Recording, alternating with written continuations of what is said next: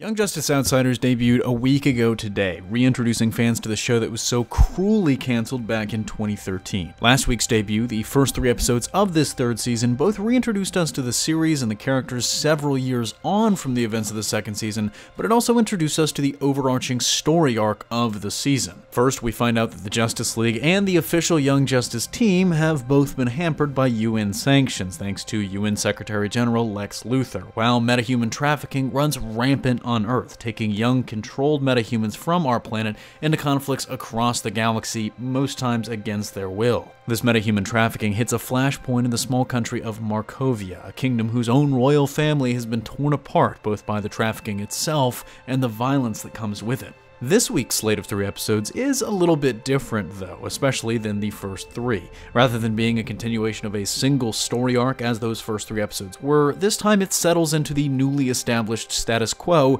and delivers us three semi standalone episodes, the last of which does kind of return to the main story of the third season. In the first episode, Dick Grayson teams up with the Harpers, Roy Jim, and Arsenal to help Jim and his private security company in, you know, a gig that only goes a little bit horribly wrong. Next, a Young Justice mission takes the team to the surface of New Genesis, where the team gains a new member. Forager, a member of the bug species living below Supertown that's exiled after the events of the episode. Finally, new metahuman Prince Brion goes rogue when a tip about his sister's whereabouts leads him to the home of Ra's al Ghul, prompting a little Young Justice rescue mission. And if the first three episodes felt a little too adult or more mature than you would have wanted from the original show, this slate brings you back to the fold. These three episodes specifically feel much more in line with the tone and themes of the original series, outside of some maybe not necessarily Cartoon Network friendly quips during the first episodes, and a particular scene during that final episode in which we see the League of Shadows dispatch a victim pretty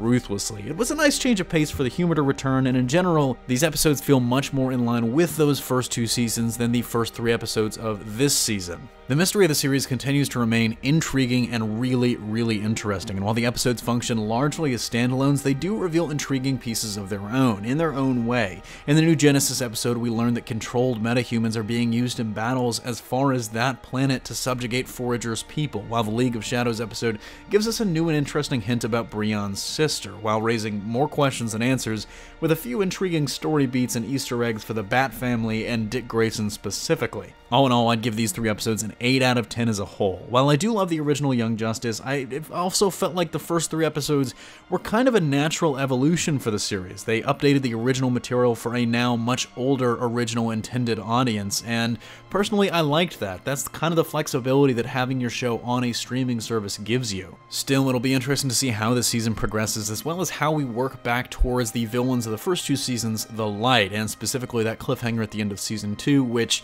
has not really really come up so far, uh, as we really don't know who all is behind the metahuman trafficking thing. All these characters assume that it's the light, side but we haven't really confirmed that it is the light yet, and it kind of seems like they're leaving the door open for it to be a twist and it not actually be the light after all. Plus, like I said, there's a major Easter egg and a major, major cliffhanger and teaser at the end of episode 6 that'll be really interesting to see if, if they come back to that at some point later this season, or if that's something they just save for later. Let us know what you thought of the first three episodes in the comment section down below, but that's going to do it for me here. Thanks for watching. Don't forget to smash that like if you like what you saw, subscribe for more great content every single day, and consider turning on your notifications to be alerted every time we upload a new video. Signing off, this is CJ, and I'll see you next time.